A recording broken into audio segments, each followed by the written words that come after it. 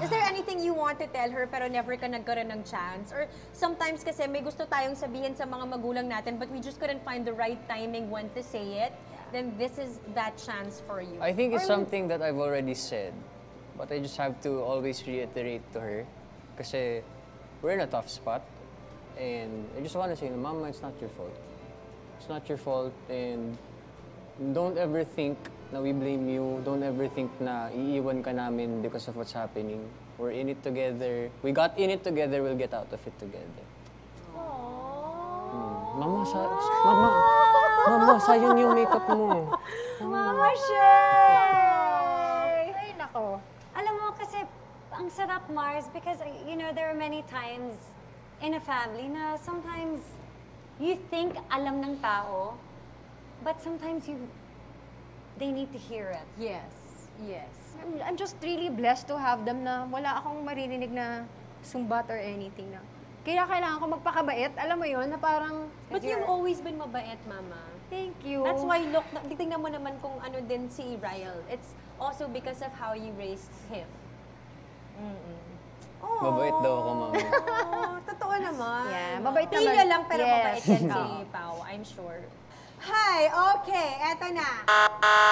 Uy, Ito na, ito na, Mars. Ito na, Mars. Ayan na. Ito na ang Tarantanon! masaya. Sabihin, loka-loka na yata ito si Shelly. Okay! Mama Shay. Dahil, Mama Shay! Uy, ba't ako?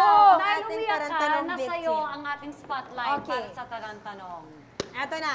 Okay, Mama Kinabahan Shay. ako.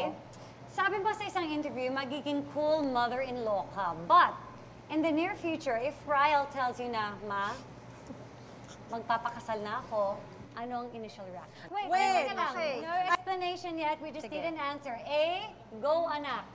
B, nako Ryle. Di pa ako ready. Five seconds to answer, A no explanation, Mama. Go! Eh, Go, anak! Talaga ba? I'll go na, sige. Hoy, pag ngayon, hindi ka dito. Talaga ba, Mama?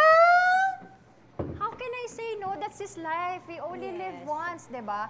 Uh, I always say na I just want you to be happy. Not even, you know, successful sa career. Kung halimbawang ang career niya ay, or kumikita siya ng magkano lang and he's happy with it, then Yes. kung saan siya masaya. And I will, magiging cool akong mother-in-law. Alam niya yan. And cool lola. All out.